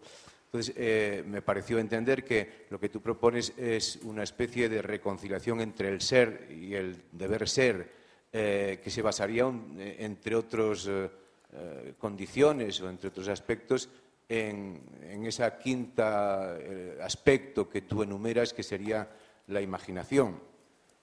Esto me parece interesante, eh, un poco suena a, una, onda tardía del 68, de, los acontecimientos surgidos en el 68 eh, y lo, del mundo que el 68 abrió, porque eh, si efectivamente el, siguiendo tu razonamiento, yo te preguntaría eh, si la imaginación e incluso la confianza eh, son eh, aspectos propiamente políticos o prepolíticos. Es decir, en tu modelo de, política que acabas de exponer, mm, la imaginación eh, ¿Es algo político o prepolítico? Lo digo porque realmente en los acontecimientos históricos importantes en los que la imaginación ha jugado una función política, y probablemente ha sido en todos los grandes acontecimientos importantes, digamos, eh, eh, traumáticos, o porque ha habido otros acontecimientos que se han abrido paso con pies de paloma, como decía Nietzsche, ¿no? y han sido tan importantes como los aparentemente más aparentemente los más digamos traumáticos entonces, lo que yo te diría es que eh, mm, lo que se me ocurre eh, al entrar en contacto por primera vez con lo que tú acabas de exponer es que, eh, digamos que lo que ha abierto camino lo que ha configurado modelos de política han sido eh, algo que en principio no era exactamente político, como podía ser, bueno, lo que Habermas llama el mundo de la vida, lo que otros llaman sociedad civil, eh, que bueno, sería discutible ahora si eso es política o no en el sentido que tú has precisado, pero en todo caso, lo que parece nutrir, lo que parece nutrir los modelos de política, las virtudes cívicas, la cohesión política, eh, son eh, cuestiones del tipo de la religión, eh, del tipo de la cuestión nacional, del tipo de la cuestión sexual que, que, se fue abriendo paso lentamente y que tuvo como hito fundamental el mayo del 68. La confianza es tratada por sociólogos eh, como eh, la, condición de cualquier tipo de intercambio, especialmente del intercambio, del intercambio recíproco de las sociedades más prósperas. Putnam, por ejemplo, así lo define, ¿no? en su análisis de las ciudades italianas del Renacimiento. ¿verdad? Entonces, eh, mi pregunta, así para, para concretarla, es, mm, es si esto que tú, estos aspectos que tú pones de imaginación y confianza, eh, son ya en sí mismos políticos o son aspectos prepolíticos que nutren ese modelo de política que tú propones. Gracias. sí. sí. es una eh, buena pregunta. No había pensado en esto. Mi reacción es de, decir, eh, em, hay algo siempre negativo cuando se dice que, que, algunas cosas son prepolíticas en la, en la política. La idea de, hay, una, ¿cómo se dice? una impresión de, de, de non autonomía de la política, de submisión de la política de algo que viene antes. Entonces, cuando dices prepolítica, ok, entonces eso me inclinaría a resistir a la idea de prepolítica. Pero imaginación, confianza son categorías más amplias, amplias, anchas de la política misma. Es claro que imaginación puede ser imaginación científica, pensar un, imaginar un modelo de explicación. Uh, uh, uh, puede ser imaginación ah, artística, es claro que no se puede restringir la imaginación a una, a, una función política. Entonces, es lo mismo por confianza, como dijiste en Putnam, es una categoría de la interacción social, es la interacción social que requiere confianza, un mínimo uh, de confianza en el otro. Entonces diría, eh, diría que, eh, eh, que son facultades o categorías, conceptos más, más, más amplios que, que, la política y hay una declinación específicamente política de qué quiere decir imaginación política y confianza política, y esto es una creación de la política. Pero en el otro sentido, no, no tengo miedo de decir que sí, son prepolíticas, son non políticas, son más amplias de la política. La política es, un uh, su, uh, sous-ensemble, uh, sottoinsieme, uh, sí, della... Eh, eh, eh, lo que ha abierto camino uh, viene de la imaginación, viene del... Uh, algunas veces, sí, uh, es diferente. Por ejemplo, los dos ejemplos del New Deal en los años 30 y ahora la elección de Obama son diferentes, porque el New Deal yo creo era verdaderamente un nuevo camino, una nueva idea de igualdad, igualdad no solamente cuando se vota, pero igualdad en las oportunidades en el mercado. Uh, esa era la idea de Roosevelt, que la primera igualdad formal en, cuando se va a votar significa poco si no hay también una idea más amplia, de larga, de, igualdad en las oportunidades económicas. Y eso era verdaderamente una eh, eh, innovación eh, respecto a una interpretación constitucional de la igualdad como en un cuadro laissez-faire. La elección de Obama es una maravillosa realización de algo que está, ya está escrito, igualdad. Eh, eh, lo que es fantástico es eh, la traducción en práctica, que nunca se espera ver, pero no es una idea conceptualmente nueva. Maravilloso, movilizante es la, la realización. y esto... entonces, entonces diría que la imaginación política, la imaginación que está ah, bajo el New Deal es una imaginación política, de extensión de la idea de igualdad.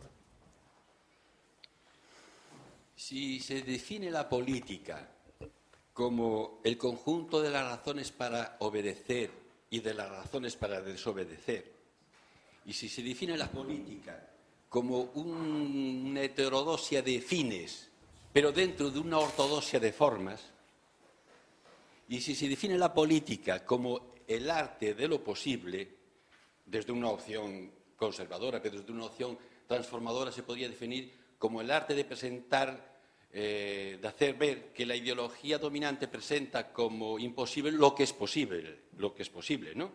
Entonces, el problema se coloca aquí en la frontera borrosa entre esa definición y sus límites, ¿no? Estas definiciones de la política. Porque, ¿cómo incluir también los fines que no son priorizados? ¿Y cómo incluir lo que la ideología eh, dominante presenta como imposible, como imposible, pero que puede ser posible? Que en todo, todo caso, la función de la ideología transformadora sería de hacer posible lo que la ideología dominante presenta como imposible. ¿no? Esos son los límites borrosos que hay que estudiar porque aquí es donde se coloca el problema. Como incluir también eso, incluir los fines que no son priorizados, incluir eh, lo imposible, de alguna manera. Claro que hay un límite y yo creo que los límites son eh, la ortodoxia de las formas. Claro, hay que respetar unas formas y las formas tienen que imponerse como reglas de juego para todos la regla de la deliberación, de la libre discusión, de poder escuchar eh, la opinión de las minorías, de decidir a través de la regla de la mayoría. Esas mm, formas son un absoluto, ese sí que son un dogma para la política, desde una opción, claro, democrática, pero vamos a partir de esta opción.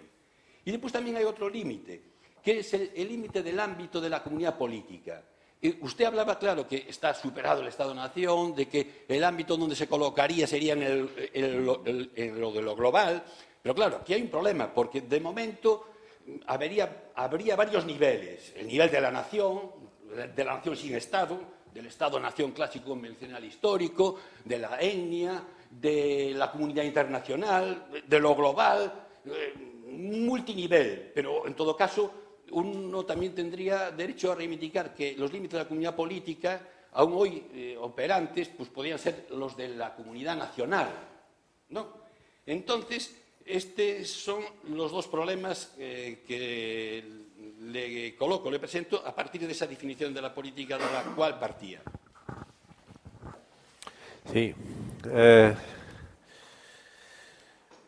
me acuerdo de una expresión de eh, Berlín, esa Berlín, cuando decía que eh, cada eh, régimen político, cada sistema y cada concepción no, no, no puede cubrir todo. Siempre hay una elección entre, entre cosas. Yo eso me refiero a la idea de incluir lo imposible. Incluir lo imposible creo que hay una una eh, decisión estratégica, de estrategia conceptual, eh, eh, puesto que yo quiero desarrollar una visión, dar una definición normativista de la política, es decir, de una perspectiva normativa. hay diferentes tipos de, de, hay, hay perspectivas normativas utópicas, Platón, eh, Marx, aún Marx haya dado su vida para, toda, la vida haya, luchado para definir científico y no utópica, su, pero al final. Eh, y, otras que son eh, la utopía realista en el sentido rolsiano, es decir, lo posible, lo, posible. Claro que se, puede, se pueden hacer errores y, y errores de no distinguir eh, eh, eh, no distinguir cosas que son posibles y solamente parecen imposibles. Eso es ahí. Pero lo, imposible es un concepto que creo que eh, tiene que quedarse, eh, quedarse eh, fuera, fuera de la, de, la, política, en otras cosas, en, en, el pensamiento filosófico, por ejemplo, en la religión y otras ideas. Pero creo que es difícil incluirlo como tal en la política. Diversamente es el, diverso es el caso con la, los, los, fines que no son priorizados. Eso es más es importante los fines que no son priorizados. ¿Qué, qué, qué pasa con esos? Se puede pensar a una idea de uh, compensación temporal, que los fines que no son priorizados ahora lo, tienen prioridad después.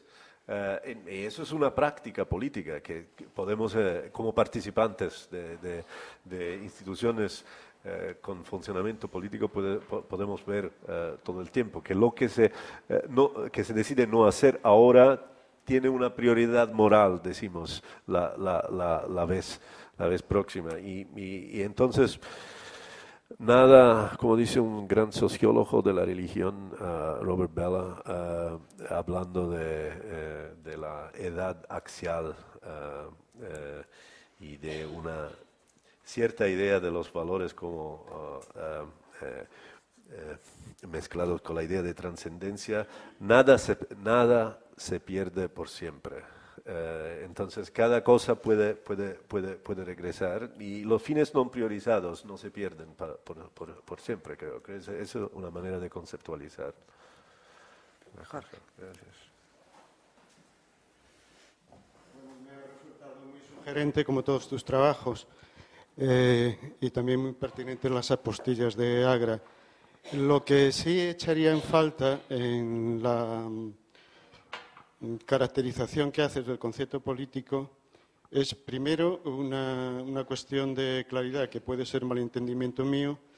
No sé si estás definiendo una determinada opción y entonces el entramado conceptual que esa opción exige o estás definiendo la categoría de política como tal.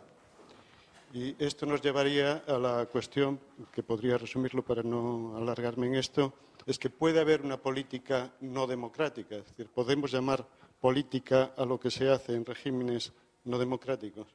Esto llevaría aparejado esto.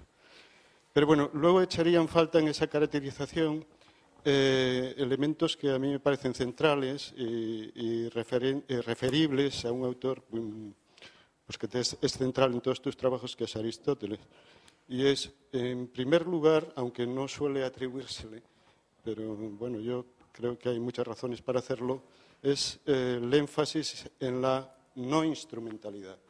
La política se define por la exclusión de aquello que caracteriza al oikos, y en el oikos eh, es eh, dimensión central la tiranía, por ejemplo, en la relación amo-esclavo, o el paternalismo, en la relación padre-hijos, y ya sabemos todas las dudas y vacilaciones de la relación que tuvo Aristóteles al caracterizar la relación amo o digo marido-esposa. ¿no? Eh, y esto hace que, por delimitación, lo político justamente excluye esto, y son, son claras manifestaciones de instrumentalidad.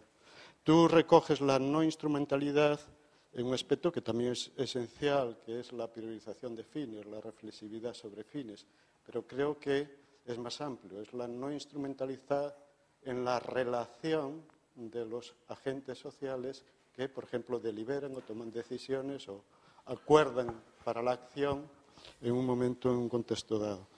Y el otro elemento que he hecho en falta en esa caracterización, y también es un elemento aristotélico, es la justicia. ¿eh? No hay política sin justicia, y otra vez en delimitación de loicos. Eh, eh, no tiene sentido la justicia, dice Aristóteles, cuando alguien habla eh, de sí, de sus propiedades con respecto a sí, y los hijos forman parte de sí, del amo, me refiero, los esclavos forman parte del amo y nadie comete injusticia consigo mismo, y otra vez le plantea problemas de definir y la relación con la mujer. Y recordarás que la califica de justicia doméstica, no política. Por lo tanto, es esencial en la categoría política el concepto de justicia. Simplemente indicaría, para enlazar con la postilla de, de Agra, que, eh, bien guiada por la teoría feminista, pues ha recordado que la familia también es política y habría muchas aclaraciones que hacer al respecto. La delimitación de la categoría de política excluye tajantemente las relaciones tradicionales que definen a los que definen a la familia. Cuando se dice que el ámbito de la familia también es político, creo que lo que se quiere interpretar con ello es que es necesaria una remodelación de los sujetos restrictivos que prepara la familia como delimitación del espacio público posterior. Es decir, que tiene una repercusión, eso que es prepolítico, en lo político. Y por esto mismo es calificado de un modo amplio, de un modo un tanto genérico, de política, nada más. Sí. Eh, Gracias, es una clarificación importante. El objetivo es, no es de definir una opción de, política, sino, puede ser que no he logrado, pero la intención era de definir política como tal, no solamente política democrática. En este sentido, yo creo que sería un, error de, eh, proceder de una definición de un concepto de política que solamente eh, eh, incluye política democrática. entonces, eh, puede, puede haber una política no democrática aquí, por ejemplo, en el sentido que no hay autonomía de los individuos en, elegir ciertos fines. Lo, reciben de tradiciones um, no cuestionadas o que no hay igualdad no hay igualdad en el proceso de, inclusión en, el discurso uh, sobre la prioridad de, fines. Algunos hablan, otros no, no tienen derecho de hablar. Uh, esa sería, sería política, porque hay discurso sobre las prioridades de fines, pero no es política democrática. Uh, es la política tradicional de élites, que de élites que también discuten, también tienen debate debates eh, sobre la prioridad, de fines, pero los tienen en un contexto no democrático. Entonces, esa sería una definición que eh, eh, empieza larga, definiendo qué es política en cuanto tal, y después puedes restringir y decir qué es política democrática. Y la idea de no la componente de no, instrumentalidad, sí, es, es, importante, es, decir, eh, yo lo había, no lo había explicitado así, de no instrumentalidad, sino implícitamente lo había presupuesto en la idea normativa, es decir, que eh, lo que nos hace priorizar algunos fines son las, las razones, las buenas razones. Eh, en este está implícitamente la idea de no instrumentalidad. No es la fuerza, no es la influencia, no es los incentivos, que, sino las buenas razones que resultan en una uh, priorización. Y también la idea que no hay política uh, no hay política sin justicia eso también yo estoy con uh, el, el eh, ¿cómo se dice? el herede de Aristóteles de la centralidad de la justicia es Rawls como cuando abre eh, teoría de la justicia diciendo la justicia es para las instituciones lo que la verdad es para, los sistemas de, de, pensamiento algo que tiene que ser ahí un un canon, un valor central. Si decimos que algo no es verdadero en ciencia, tenemos que cambiar la proposición. Si decimos que una institución no es justa, es injusta, eh, ya estamos diciendo que se tiene que cambiarla. No es posible, es contradictorio decir es injusta, pero pero es tradicional, pero la tenemos, pero es eh, útil.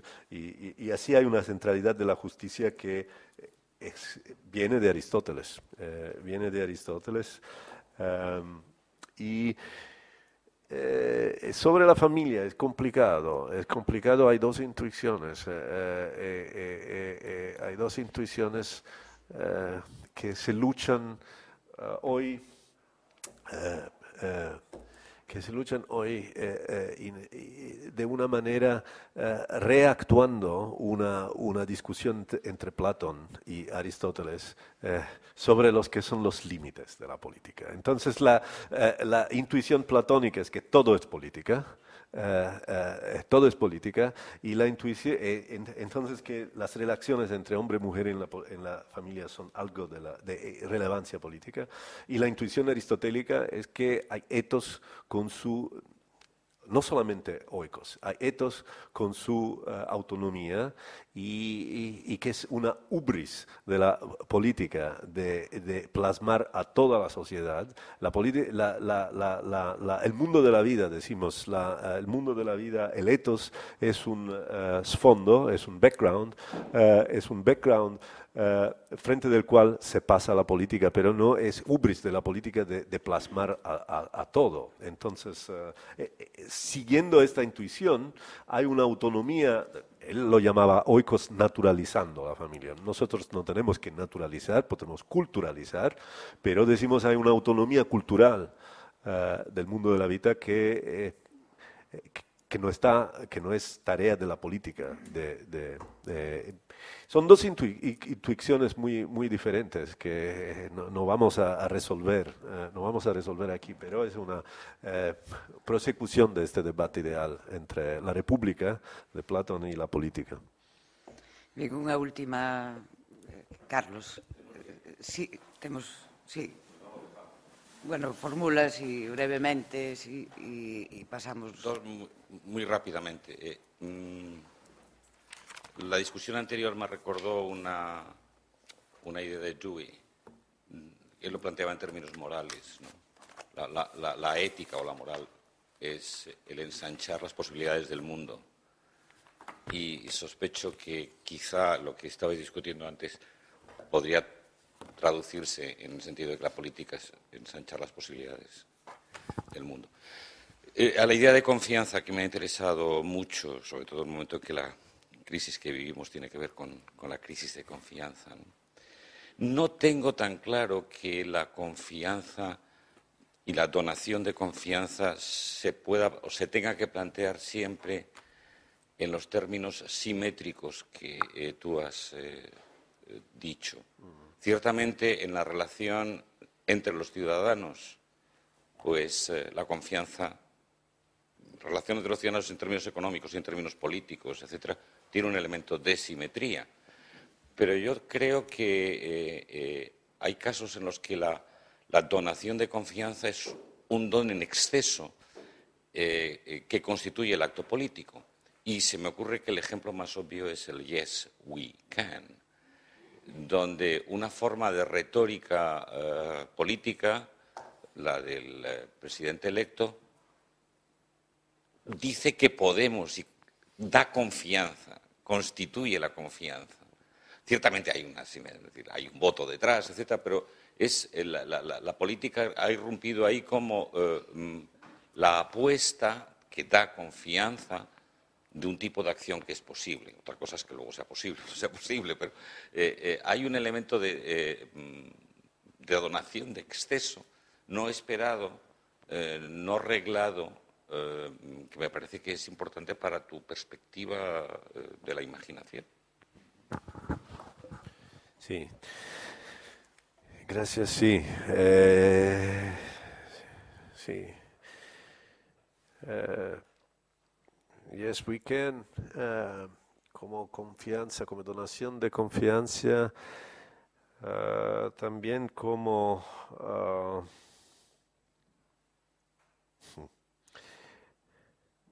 atreverse a, hacer posible, a realizar, atreverse a realizar lo que eh, en todo el mundo solamente está escrito. Esa es la confianza.